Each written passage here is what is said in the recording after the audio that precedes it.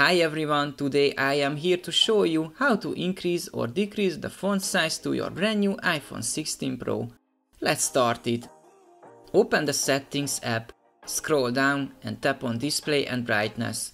In the display and brightness menu, you will find text size. Tap on it. Use the slider provided to adjust the font size.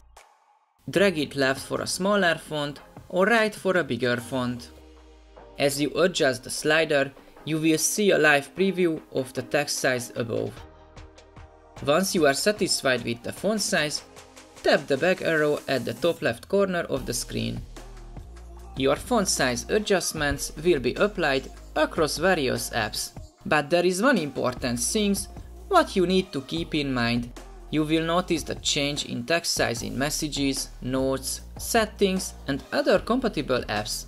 However, please note that some apps may have their own text size settings that you can adjust individually. Additionally, not all apps support dynamic text types, so these changes won't affect those specific apps. Now scroll down to the control center.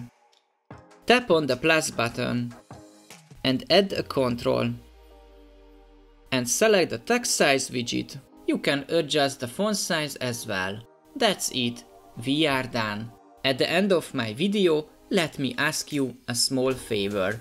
As you can see, most of my viewers are not subscribed.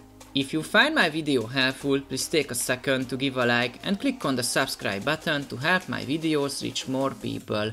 Thank you and see you in the next one.